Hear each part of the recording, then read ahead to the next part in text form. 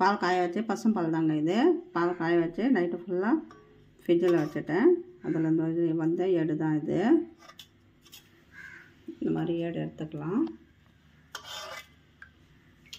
நம்ம ஒரு ஒரு நைட்டு ஃப்ரிட்ஜில் வச்சுட்டோன்னா பால் நமக்கு நிறைய ஏடு கிடைக்கும். இது ஒரு வாரம் ஃபுல்லாக எடுத்த ஏடு இது. பாலாடை தாங்க இது பசும் பாலாடை இது.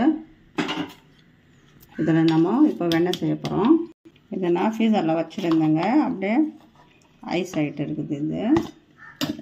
இதை நம்ம இதில் இருக்கிற தண்ணியாக சேர்த்துக்கலாம். நான் ஐஸ் கியூப் எடுத்து நிறைய வச்சுருக்கேன். இந்த ஐஸ் கியூப் கூட இதில் சேர்த்துக்கலாம். நம்ம ஐஸ் கியூப் எவ்வளோ சேர்ப்போமோ அவ்வளோ சீக்கிரமாக நமக்கு வெண்ணெய் கிடைக்கும். இது ஜில்லு தண்ணி தான் இது.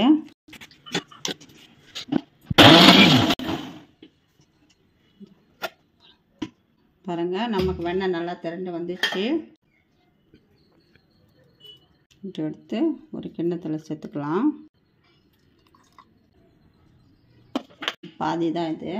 பாதியாக நான் எடுத்துட்டேன். இதில் ஃபுல்லாகிடுச்சுன்னு அது ஒன்றும் நம்ம இதில் சேர்த்துக்கலாம்.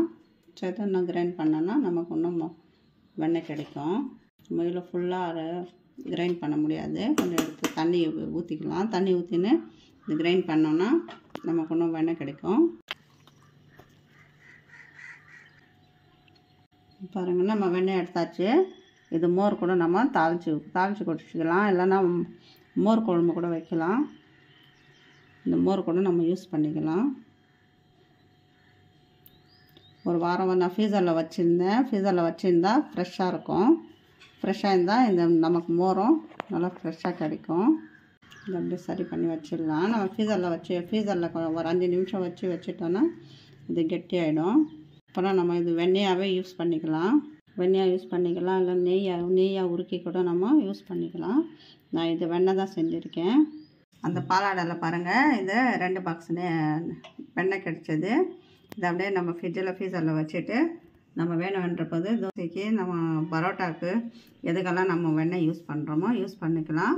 இவ்வளோ பட்டர் கிடச்சிதுங்க. நமக்கு ஒரு வாரம் இடத்த மலையில்